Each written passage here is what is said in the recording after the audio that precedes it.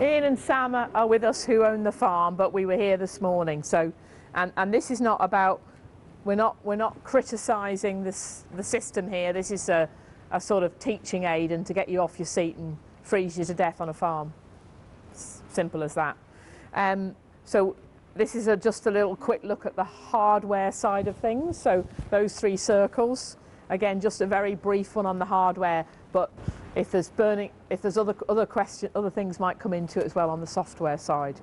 So I'm very mindful. I've got quite a lot of health and safety executive people here rather than practicing farmers. Sorry, um, and maybe Hillsborough is a slightly different situation as well. So we'll try and give a general overview and maybe some pointers to help in, in, in all situations. Um, so this is sort of, uh, you know, the basis of a very standard layout. Um, every single farm will be different. Uh, their, their workforce is different. Their, their animals are different. Their, you know, whether you're a suckler herd or a finishing unit or a day, it's all slightly different. So design of systems has got to be very much part of a design process with the farm that you deal with.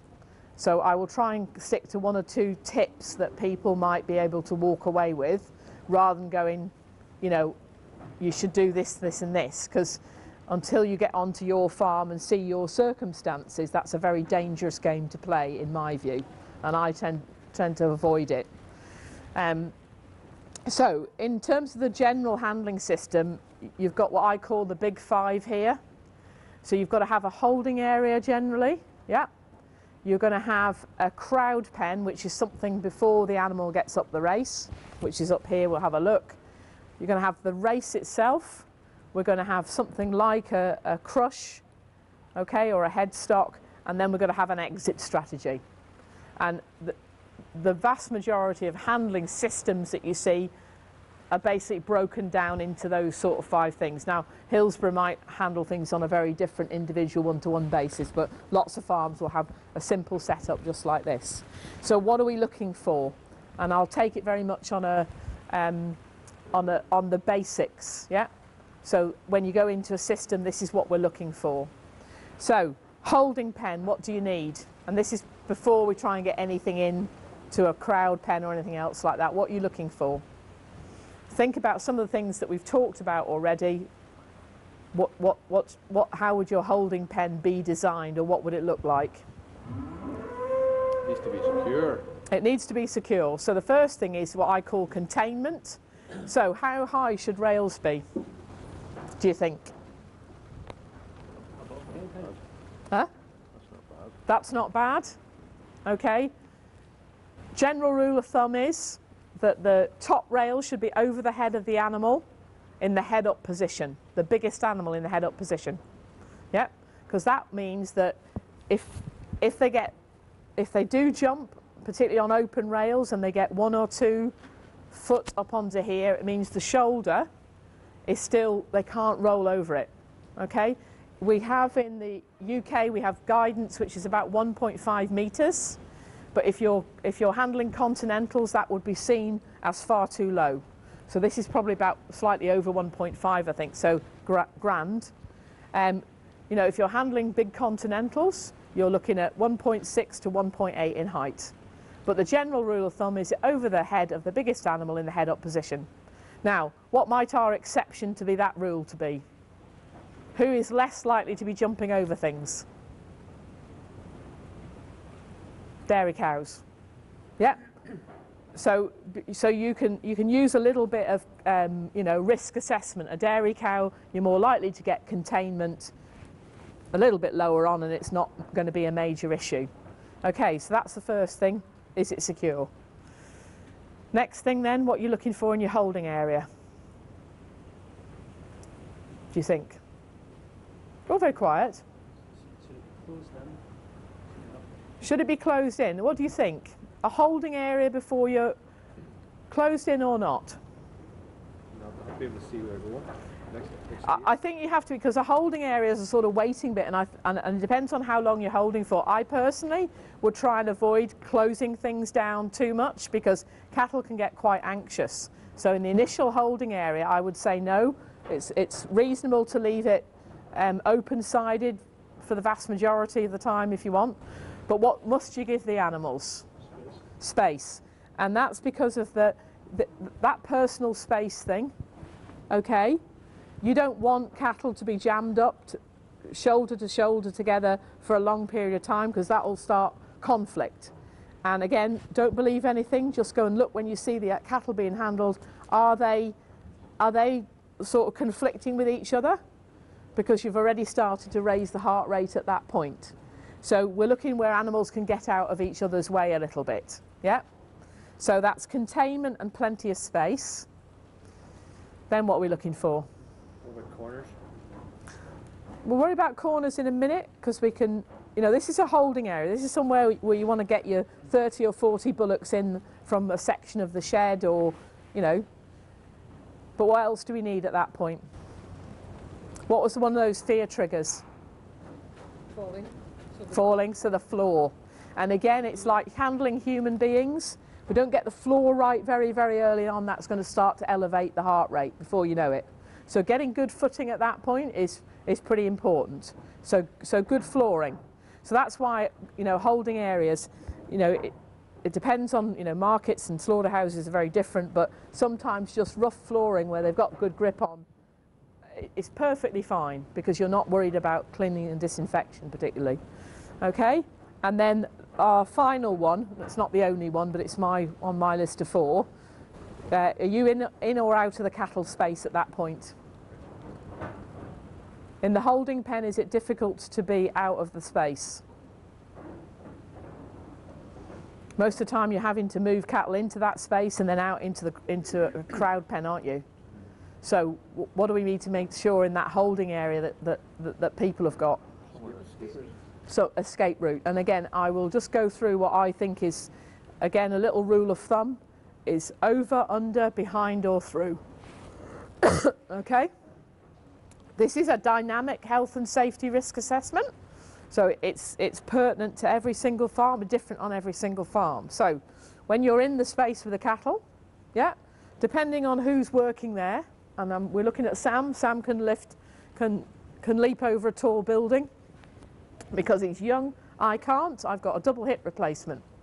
Yeah, and there's certain things that I probably could do in emergency, but are not dynamically going to do. Yeah.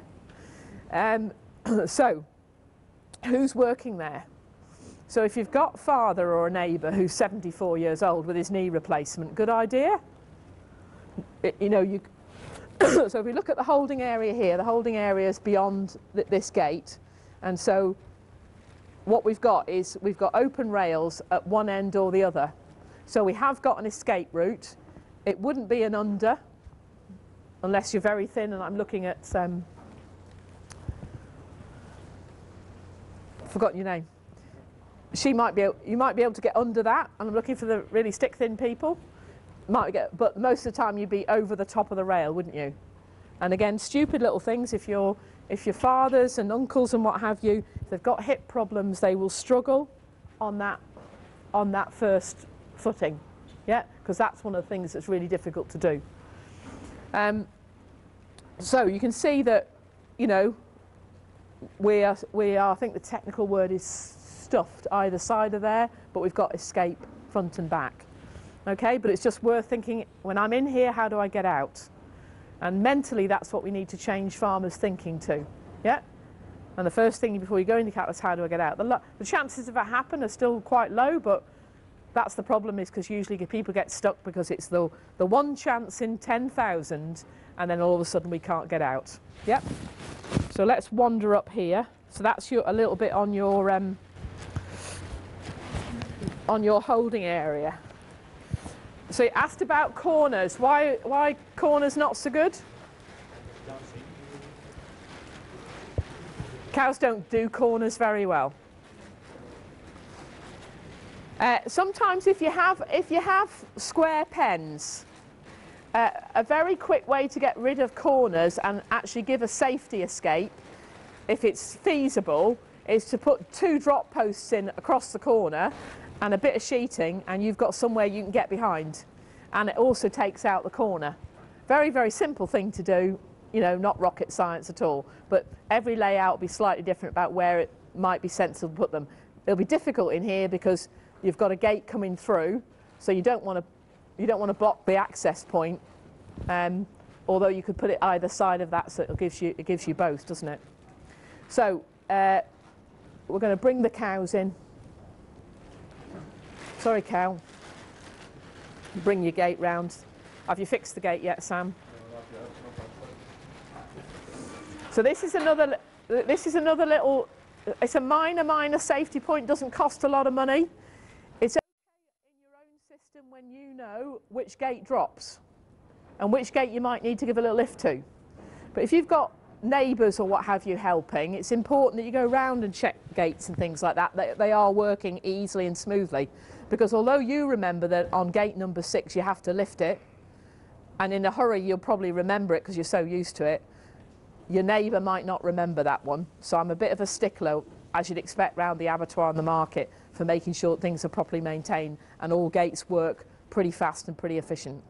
Okay, so how many people either on the you know on their own farm or other farms see we get to this point where we're bringing in a group of cattle trying to get them up the race and they start to turn.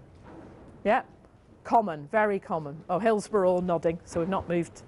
It's all a bit of a is that right? Yeah. Don't worry i'll sign off a big budget for you to go back with.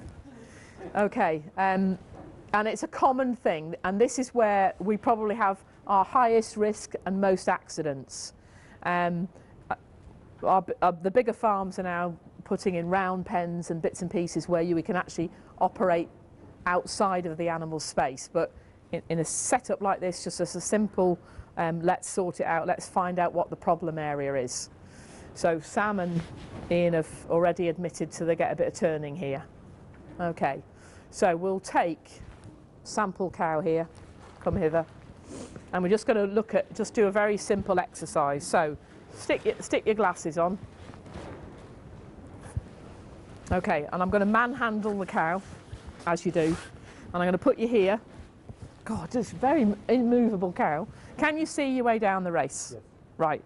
Take one step to your left, and angle yourself a little bit. Can you still? Can, no. Can you stay down the race? No. No. Take another little step to your left. Can you see down the race? No, not at all. But you can see somewhere out there. Yes, yeah. So, quite critical. Just w- look where he's standing. Okay, what's that angle?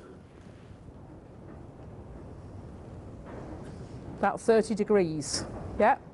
So, because of the binocular vision, we sort of lose sight of something after we're 30 degrees out of it.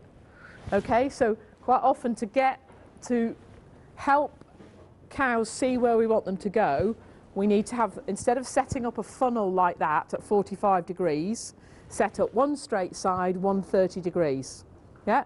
Because that means that the animal then, this animal can see straight down, this one still has sight of it, and so when one goes, the other one goes. And the other thing is, you bring something out a 30 degree angle, the only place a cow can plant themselves is quite a way away from the race entrance. Yeah? Whereas if you set something up like that with a straight bit, it just gives you the shape to create that turning all the time. Yeah? So straight side 30 degree angle. Um, bringing cows to approach this way. God, he's very, just relax, just chill. Okay, you know. So you, remember what I said about that? Just go towards that wall and tell me when you think you've got there. Yeah, so he's hesitated already. Okay, that's the difference between that big black wall, solid wall that you can't see. So we have to get our so the likelihood of a cow then turning its head the right direction and then heading down the raceway. However, what's the big benefit of this layout? Which means when they get them turned in the right direction, they're going to go. Because where's the handler? Yeah, but in relation to the move, the cow, where's where are our handlers? Left hand side or right hand side? Oh yes, and we have. I haven't been apart from this morning when I first came down. They've got another system which is right-handed, not as good. Yeah, so don't believe any of that tell you. Just go and see. You can take your glasses off now, unless you're absolutely intense on doing it, and just relax. Okay. So So that's a very simple thing if you get turning, and I'd always advise farmers just to go and have a look at their system, and decide, you know, just make a little X on the, on the system over a couple of months or a couple of handling syst- times and go, what's working and what isn't. So if it's the- bit that's not working, let's work out where it is. Okay? Then go back and look at it and do make one little change at a time. Do not suddenly go, we're going to do all of this because you'll end up throwing the baby out with the bathwater. Yeah? Because some of these little systems work very, very well simply because it's going left handed. Whereas you might reverse the whole thing the other side and all of a sudden it doesn't work.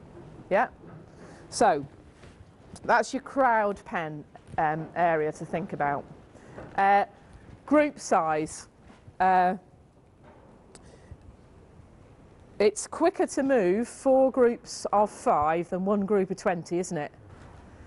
And because what you're doing is you, you're inadvertently giving the animals more space all the time so they can actually move. Um, but you're also um, splitting up the influence of a dominant animal. We do it, I'm looking at the youngsters here. Sam, you don't have to admit to this. You, what will happen quite often if you're coming out of a nightclub these days, you'll see the security staff will actually split and divide and split and divide and split and divide, won't they? Because if they leave the mob to get together, then all of a sudden the bad behaviour starts. So they will take you away in a little group. We load planes that way. We do lots of things like that where we're taking a little group at a time because it's actually faster. So matching your crowd pen size with your race. So we've got five, six in here, and we try and keep five, six in here, particularly when we've got a one-man operation going on. Okay? So same thing, is, is, is try and match one with the other. Generally speaking, if you're on a finishing unit, you'll see big, big long races because they tend to do quicker things. Yeah? So people that are weighing regularly or something like that, you can get away with a longer race. How long should the race be?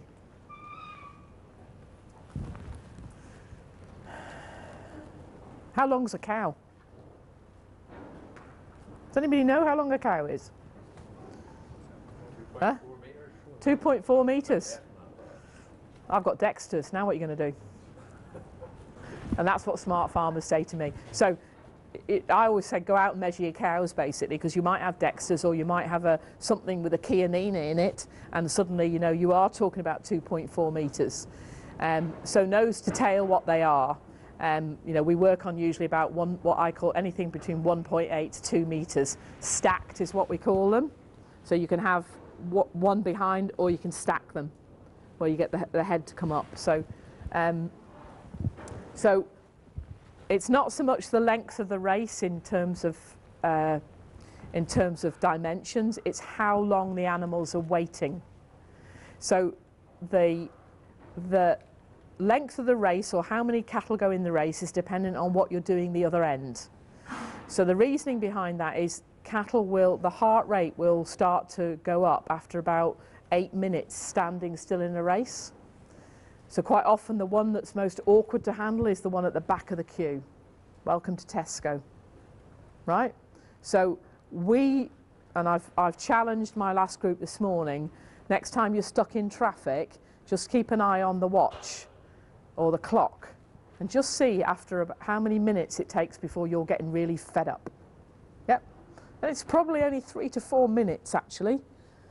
Um, and that's what happens with the cattle. They are standing stationary.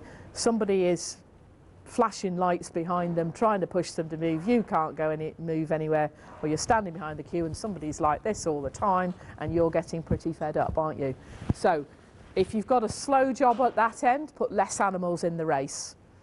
Um, if it's got a fast job, you can have a big long race, and you get much more of a flow going through.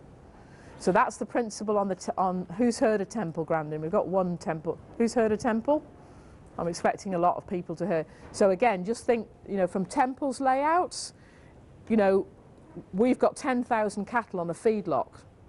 We are running cattle at a hell of a speed, which we don't do in Ireland. There isn't a farm anything remotely close to the size of Kansas. So you have to be very careful uh, unless you're getting good flows. You know, a little short race is probably just as just as beneficial. It's about the waiting time. Yep.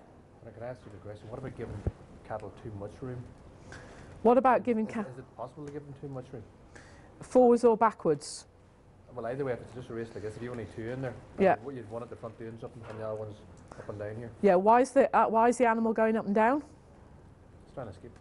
Yeah, but why? It's next. No, no, but why? If you're if you're alongside the animal, Yeah. why is it going forward and backwards all the time? You're telling it to go forwards and backwards all the time, aren't you? Because the minute, if with an open side, it will talk to close and open side. If you've got an open sided race and somebody's on the crush, this animal's got room to move back, it's going to back off you, isn't it? Because it's part of the flight zone business. But once it hits the gate, feels something behind it, usually goes forward again. Then. Yep. So uh, it's a it's a difficult one because I, I if designing things, I always talk to the farmers and go right. How often are you going to handle small numbers? So people do handle small numbers for something like clipping. In which case, the good strategy is to have a couple of those divider gates in. Yeah, but so they're not running up and down the race all the time because that's what they will do. If you are, you know, if you're a finisher, you probably need you probably would need maybe one gate at the most uh, because you can keep the flow going all the time. So again, suckler guys tend to do more things that take a longer time uh, and therefore would probably be better off with having more divisions. If you've got dividers, you can, you can make the race the size you need it for the animals you've got. If you've got no dividers, expect to get a lot of running up and down. Yeah? And what do you think about bars instead of dividers? You put a hole in the wall and the bar comes to the side side. Why would Miriam go, I hate bars? Bearing in mind my background. If you ever want to see your animal on the hook and the amount of bruising that you can actually get across there now, most of you guys don't even have to worry about it. Yeah? But that is the one reason is the fact that if, you, if you've got something pressed against a bar, particularly if you're finishing it somewhere, you're going to get bruising across how expensive bit of meat. Yeah. So again, it's important that the, you know, any run back gate in a race, uh, you know, things like flick flat gates and what have you got to remember in somewhere like America or Australia or anything, they've got a constant movement. So that, that gate is nearly always up. Yeah. Whereas we don't move animals fast enough. So a run back gate then suddenly becomes an obstruction and then the cattle won't move. Yeah. I don't like things in the race myself personally. If I was going to go through anything, I'd go for a slidey in and out gate because if the animal comes back against it, it's not going to. You can't. Animals are less likely to get hooked up on anything, jump over it, jump under it, stab themselves with it, you name it. And I prefer to get them out simply because we haven't got the movement going through. Yeah. Anybody else? You know, that's that's my personal opinion. And most of the times, a lot of the abattoirs we work in, the first thing we end up doing is taking out run back gates because you know we're more likely to have a slidey up gate towards the top end so that once we've got an animal far enough over, we'll slide the gate, hold him in that space, and then take him as the next one, just to stop the yo-yo, just to make sure that we've got an animal ready, presented to go. Yeah. So solid or open sides? Why do we have solid sides on things? Has anybody got solid sides on their race at home? Hillsborough got a big curvy race, have you? Big roundy pen? No? Yeah, so why do you do it? Does it does it work? Huh? Yeah. So why does it work? Why do we put solid sides on things? Not distracted. Not distracted, because again, the big peripheral vision means that you can pick up movement on either side. So here we've already got one big solid side. Now, generally when Ian and Sam are handling on their own, yeah, not a big issue. Because you've got one person in the right place, another person in the right place. When do we get our problems? When there's extra people down there, because all of a sudden you've got lots of people there that you can't control their movement. So animals coming into the race are going to see a lot of movement, people in front, and then they're going to go, let's back off. So solid or open depends what you're trying to do. And I would just go, it's better off to play with one or two bits of sheeting to start with. You know, are cattle running back? When do they run back? It's because, and again, somewhere like the Hillsborough guys here, you're gonna, you've probably got a lot of people around sometimes, a big, from a technician point of view. So you might need to do a little bit more um, than if it's a one-man operation. Putting things like, you know, sheeting we could put another gate out and sheet it down to here and make ourselves a little collecting pen. When you start sheeting things, you've got to be very careful from the safety point of view. Because if you sheet things, then you can't get out. Yeah? So putting a bit of sheeting here or something like that, you've got to be careful that you can't. So generally speaking, any sheeted round or crowd pens, the handler works outside the crowd pen all the time because you can't work inside the crowd pen when it's sheeted uh, because you've got no way of getting out. Okay? So, uh, Can I ask stupid question? go on then. Yeah, keep, you keep going with the stupid question. that Handling pen, and then going in here, a lot of guys would actually have the gate, and the gate would swing this way, this gate swings the other way, and what you do is you actually bring the gate round, Yeah, just sort of put them into like a V, yeah, but the gate is just depending on you holding it, and obviously they're pressed against it, yep. not advisable. not advisable. Again, um, if you see any of the big um, uh, round pen operations at any of the abattoirs in Ireland and Northern Ireland, yeah, so um, that Miriam's rule of thumb is that the gate, if the cows touch the gate, that's all right, but you must never bring the gate to touch the cow. So if it's being used to guide the animals around and they've got space to go, that's one thing. But trying to physically force things round, it means that you're going to get smacked in the jaw usually, or something will run back. It's because you're putting too much pressure on. So there's a way of using a gate like that, which is, you know, everybody tries to push animals round. Uh, there are things called bud systems as well, which is probably too much to go into, which is, you know, really, really easy systems to, to get to work.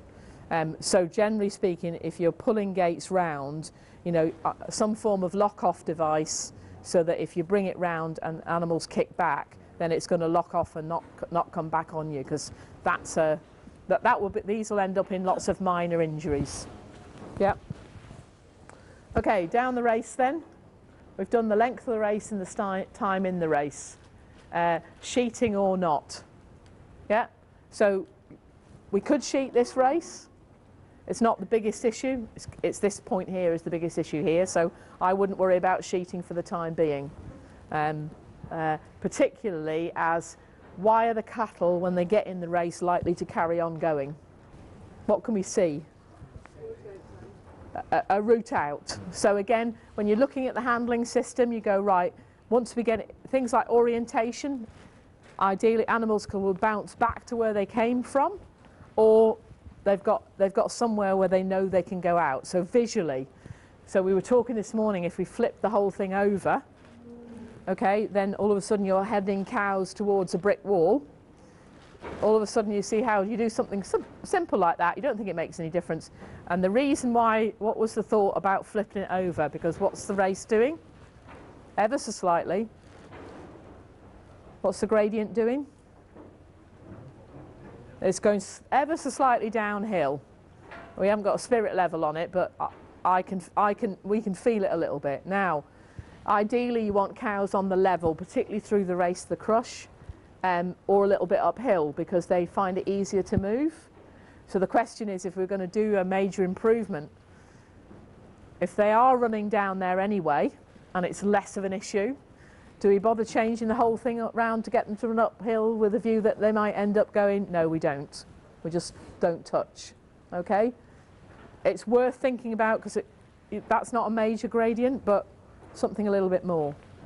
Um, right, let's head down to the uh, crush bit. How many people here have walked your system where the cows would go?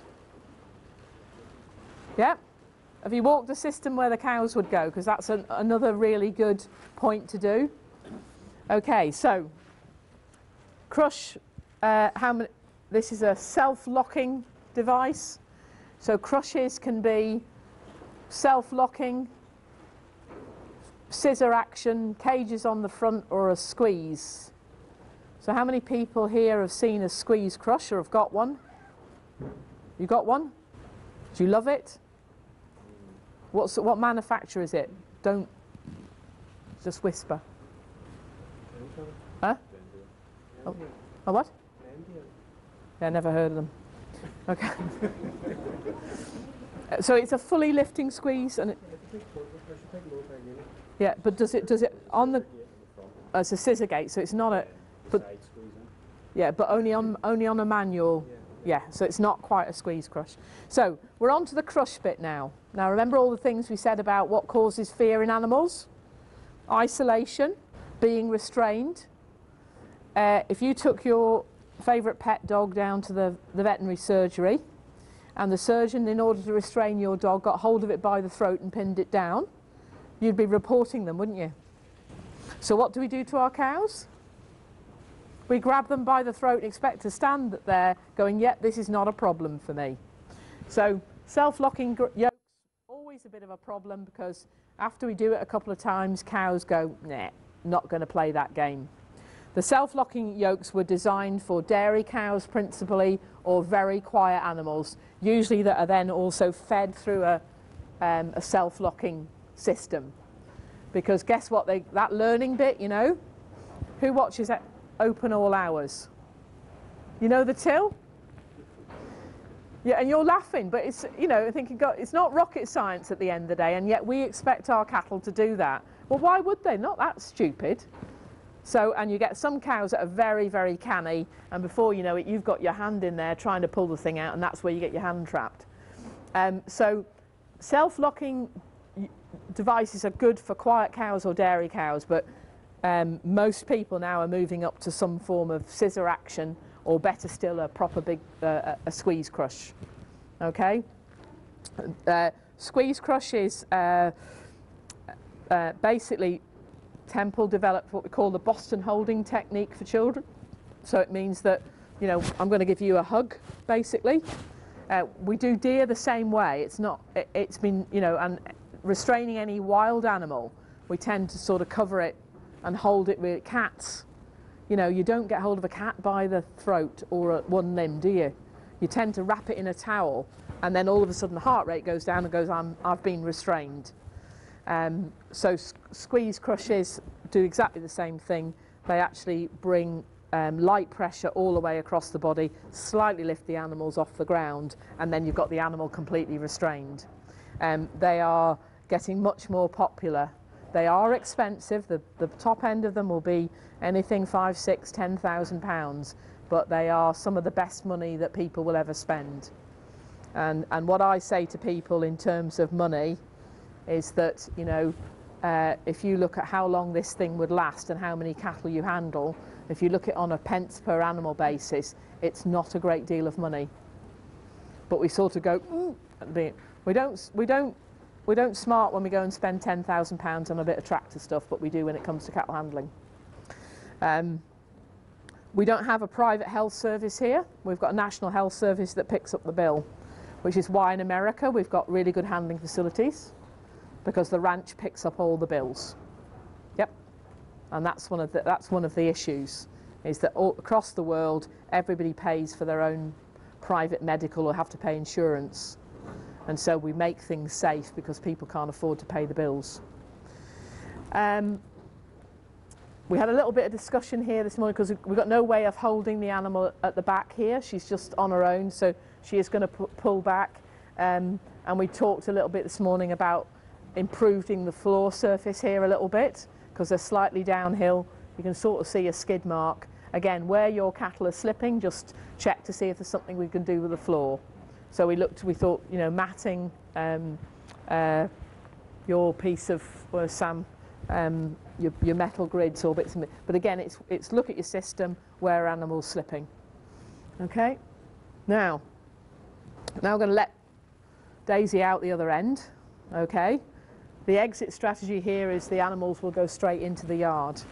What's the safety issue when you've got other members of other people working here now? They'll come back on you. So, and I'm expecting the technicians to have a lot of empathy at this point. So quite often what we do is we have the end of the crush, we let them out and they're headed to the wild blue yonder. No cow ever comes back, does she?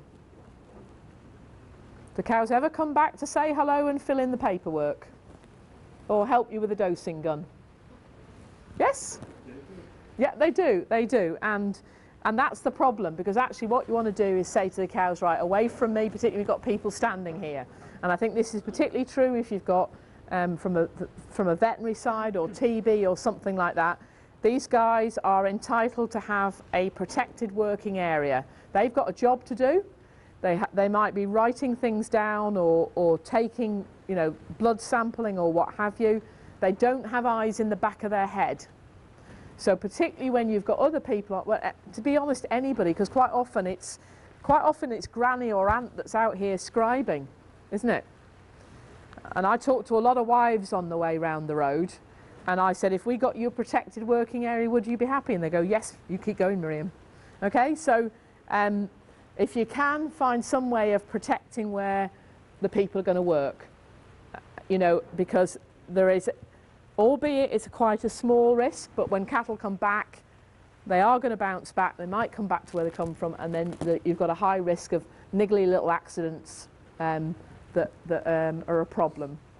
Uh, here's quite simple, but you know more sophisticated if you've got a sorting gate or what have you. Uh, some of my little Welsh farmers, you know, we've got quite small farms as well. They're getting quite uh, inventive. They're putting um, the crush or the holding pen here, followed by a weigh crate and another one, so that on a weighing day, everybody gets to move through the crush without being caught, and then you're walking through the, the rest, and you've got some way of holding. So they learn that crush does not mean fight and go. Because here, what you're saying, if the harder you fight, the reward for fighting is we're going to let you out. So we suddenly get, then get bad, bad behaviour or not control behaviour.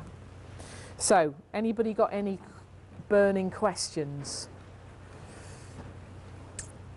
We're all a bit gobsmacked today. No. thoughts, Miriam, on the bull run with the cows in a parlour? Huh? What are your thoughts about the bull run with the cows in a parlour? What sort of bull is it? Ooh. What's everybody else's thoughts on the bull running with a cow in the parlour? I'm I'm less worried about it when it gets in the parlour. I'm more worried about it before it gets to there. Wouldn't you be? So again, do we have a problem as long as we've got safety exits all the way through? She, he's probably happily he's probably happier with his cows, isn't he? And again, but because you've got a bull in there, you need to be very, very aware on the safety side of it, wouldn't you? Because if he does time to take umbrage, you need to be able to get out of the way. So, can you can you get your cows into the parlour without getting into the cow space? No. So, you know, dynamic risk assessment. So we had a little bit of conversation this morning about cows and calves generally as well. So why are cows and calves a big risk area? Huh? Hormones and, and, and natural protection from mum. You know, and sometimes, you know, it doesn't matter how long you've had a cow and how quiet you think she is, you put your instinctive bit at the back of your head.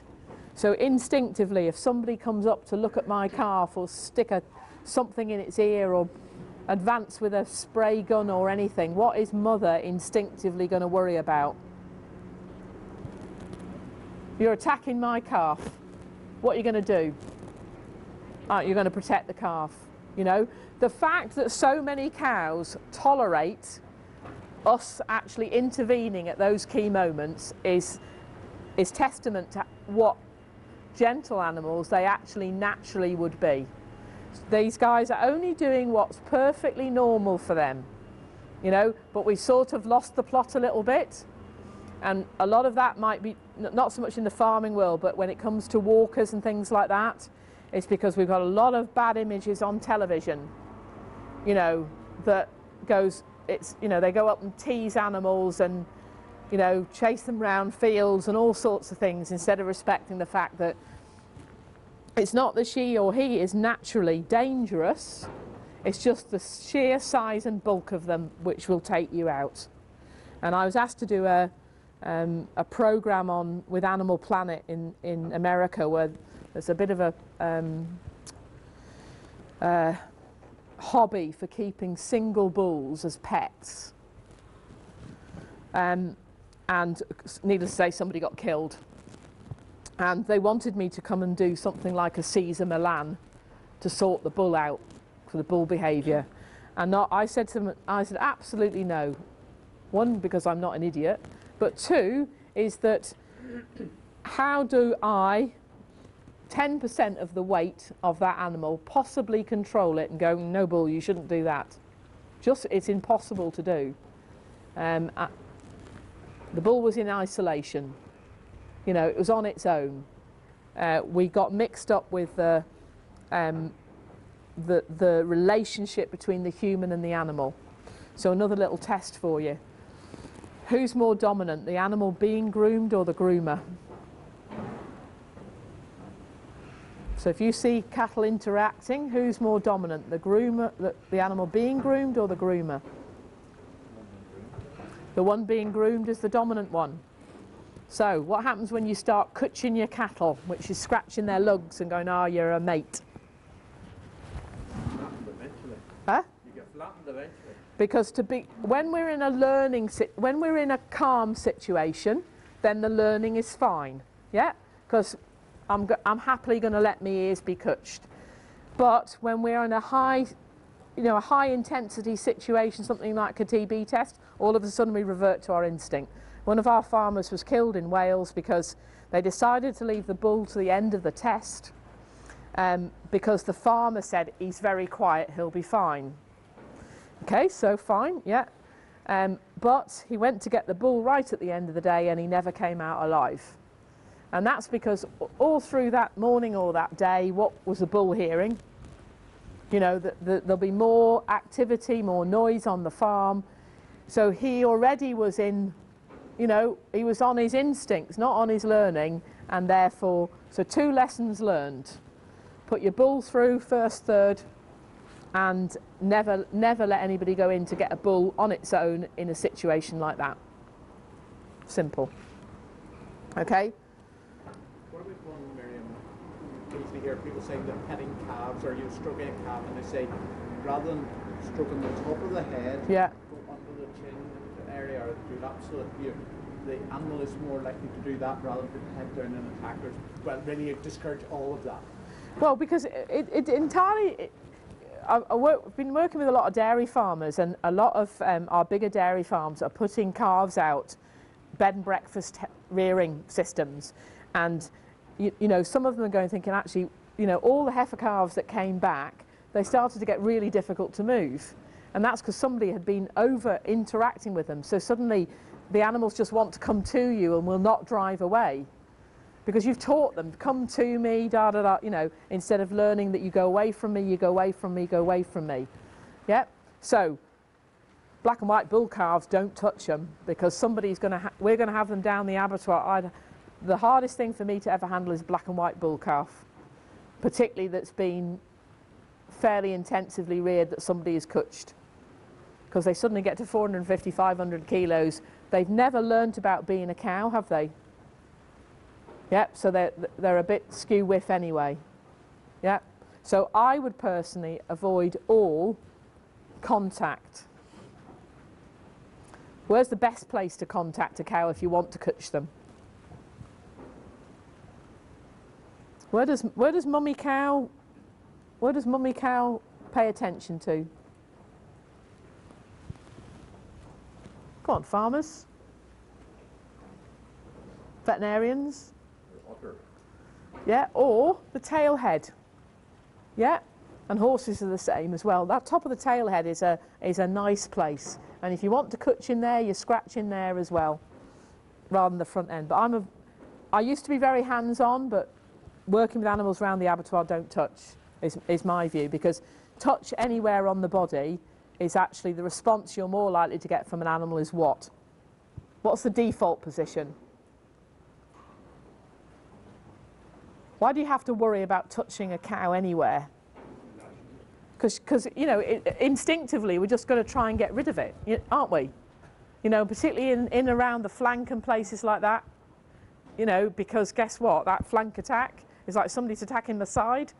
So that's why when you're cesareans, you want to get the leg strapped up and all the rest of it, don't you? Because the likelihood of something kicking out is pretty high. So, you know, treat with caution. good. Do you have any advice on loading cattle on the trailers? Because I've seen differences between a clean trailer and a trailer that's dirty. Yep. Kind of put them a clean trailer, they don't want to go on, whereas if there's cow dung and stuff on it, they're more inclined to go a bit quicker. Yeah. Here we load single file out here. Brilliant. Um, the trouble is you're supposed to have your vehicle clean anyway. Yeah. So we, uh, you know we've got to be careful here because I don't want to I don't want to mix the animal behaviour from the from the sort of good practice, which is a clean trailer. But as you would expect, if something's because if something's bright and shiny It's a dead end. wi- with a dead end and that maybe is cleansed and disinfected, that's telling me don't go into that trailer. Um, some of our trailers now they've got uh, matte black or grey paint going down.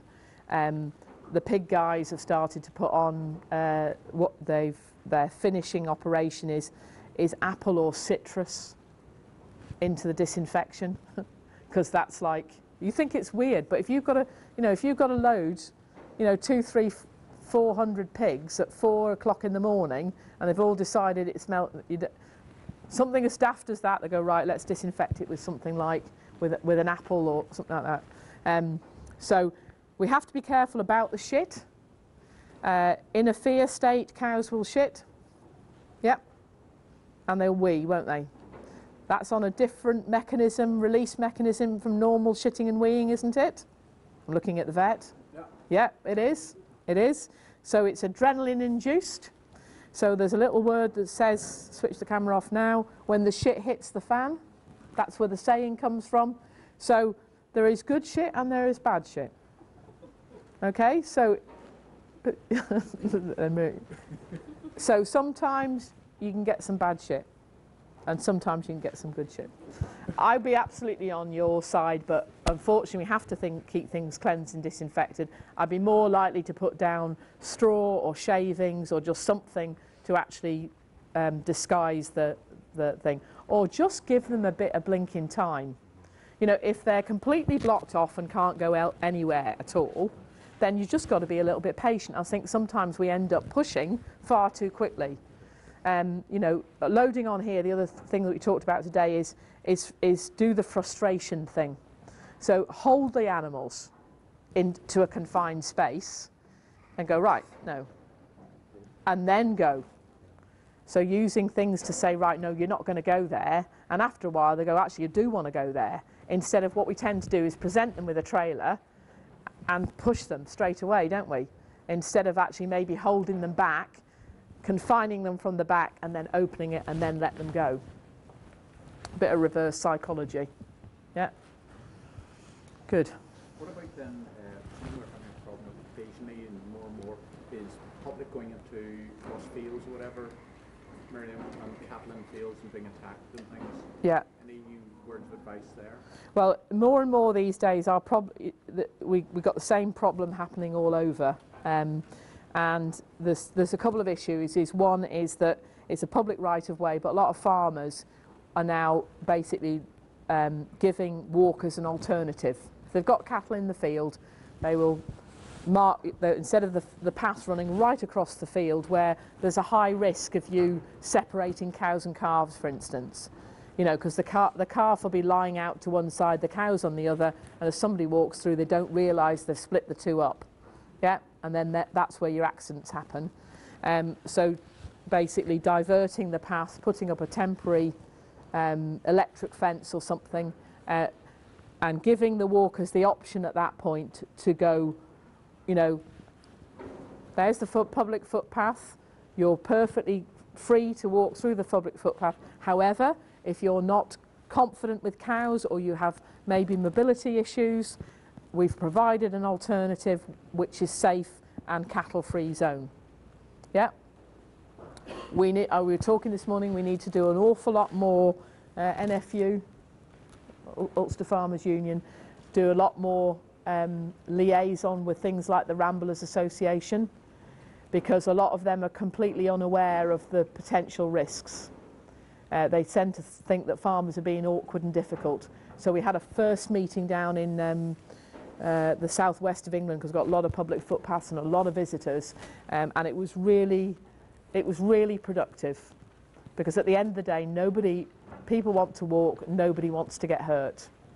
Um, and it was, it was a very, very productive meeting, particularly as then we did some um, uh, article in the Ramblers magazine about how do cows see. They've also got signs the Kennel Club have, have done with um, about if you're, if you're walking with your dog and the cows are approaching you, you let your dog off the lead and go. Okay? Our problem was when the policemen came up later on who they're police dog handlers and they're chasing murderers across fields and they go, I can't let go of the dog because he might just kill somebody. So now what do I do? I said, well, that's, we went off, we'll have another day with them because they've got a big dynamic risk assessment to make. But they were, they were running through fields with a load of dogs chasing somebody and next minute they hear the, Cal- the Calgary stampede after them.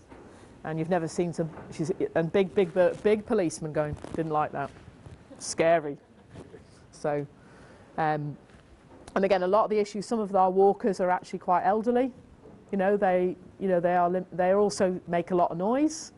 They also usually have got quite bright clothing on, and therefore will be seen as a novel object. And if there's a mass of them and they're all gibbering away like that, and particularly if they've got dogs with them, they're going to be perceived by the animals as a threat.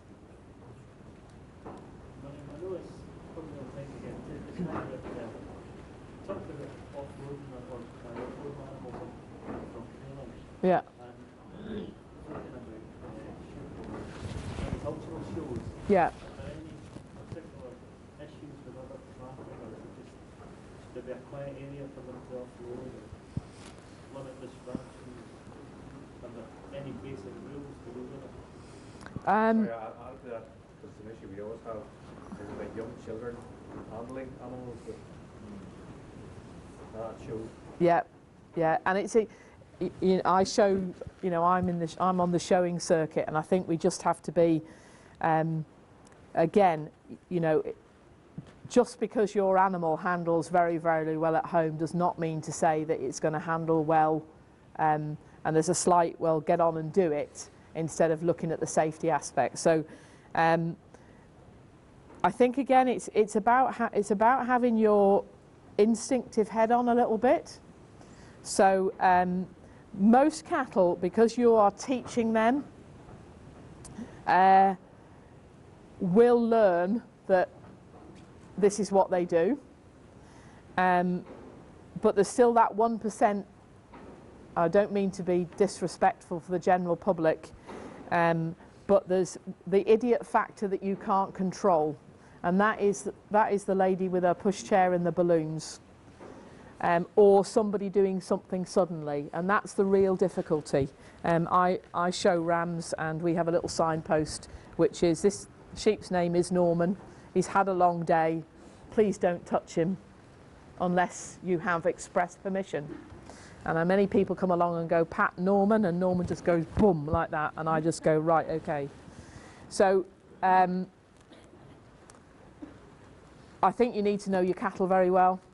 I think, I think we should get to a point where youngsters sh- shouldn't be handling them, at least without a, an assistant with them, so that you're ready on the end of the rope. Um, uh, because a small child cannot anchor away. And we did have at our local show. We had some something that actually then just just went, and it, we had a. He was probably 14, but this animal just decided to go, and then that ma- that is the big risk, because then it's loose and and and, and difficult. Um, so we had a situation at the Royal Welsh again. This is not thinking. Somebody had just won the heifer championship, beef championship.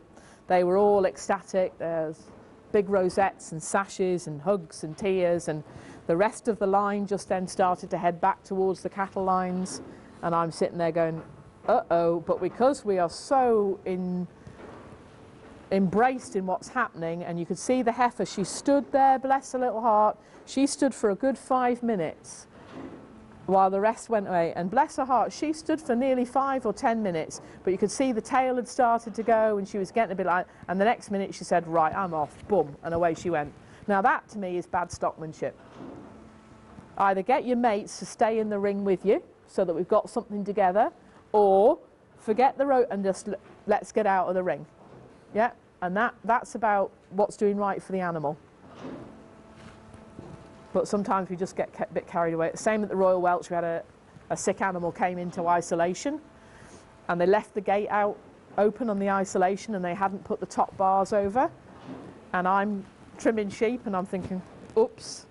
So I just sneaked across and put the top rail over and shut the gate. And somebody said, What are you doing? I said, Well, I know she's sick, but she's on her own. And the likelihood of her coming over the door and out across is a possibility, is it not? Engage brain. situation and see how best to handle brain. Yeah, I mean, I've, with farmers here, you know, and, and, and this is what's good about coming to your, sorry, in a bog standard farm, is because actually, if you take people to all singing, all dancing thing, it doesn't work. But I had one farmer came back and all he says, Miriam, all I've done is gone home, turned the system round, made it go anti-clockwise, and got myself a flag. Absolutely cost nothing, and also just gone through the system and mentally on, on, a, on a Sunday morning gone, right, how do I get out? How do I get out? How do I get out? God forbid. But how do I get out of this? And just, just taken that approach to a little bit more dynamic risk. That doesn't cost any money at all. That doesn't cost any money at all. Uh, and that's a, that's a key bit. I was on a farm in um, Warrington next to the prison and uh, we were doing an event there, a big, big finishing bulls. And um, as we got, walked round the corner to see um, an old sleeper wall, a little crush, a hurdle tied two places, always tie it four places by the way, because that means one gives way, you're still all right. And, um, and I walked around and I think I did use an expletive, like you've got to be kidding. And he'd got work staff on. And so it turns out this guy had had his leg pinned in 40 places. So anyway, we got round to the discussion about the cost of doing everything. So I hauled his wife in. And I said, right, how much is this man worth to you? 10,000? 15,000? And I says, you know what? He's, he's going to be more expensive if he's half alive. And you could see everybody just went a little bit white. And I goes, that's what you need to be thinking about. So if you can't afford to do things, you've got to work safely. And there's a huge difference between being a massive risk taker. There's lots of people are very, very safe in what seems like dangerous positions because mentally they're working out the risk. Sometimes you can have people, particularly youngsters, working in very safe positions with very safe things, but because they're big risk takers, they're going to be an accident liability. So it's not about the equipment you have, it's about this bit up here. You know, because you can put all the safety devices into tractors and what have you, but if you put an idiot in the driving seat, you're going to come unstuck. A court, uh, I was in a court once against another expert witness, and the judge asked the other expert witness on the defence side how often he'd been kicked by a cow, and he went three or four hundred times. Probably it's part of the job. He didn't realise the judge was actually a was a big huntsman. He did a lot of riding, so that was fine. You know, this oh yeah, getting kicked is part of the job. Yeah, we all get kicked. And then he came to me. He goes, "Well, Miss Parker, how often did you get kicked? You know, how often have you been kicked?" And I said, "Probably about 10 maybe at the most, and after that I learned to stand out of the way. you know, and, and, and it is, this, you know, you know, working around horses or cows or sheep or anything, you sort of, and that's because I'm a coward basically. So I don't mind admitting it. Good, good.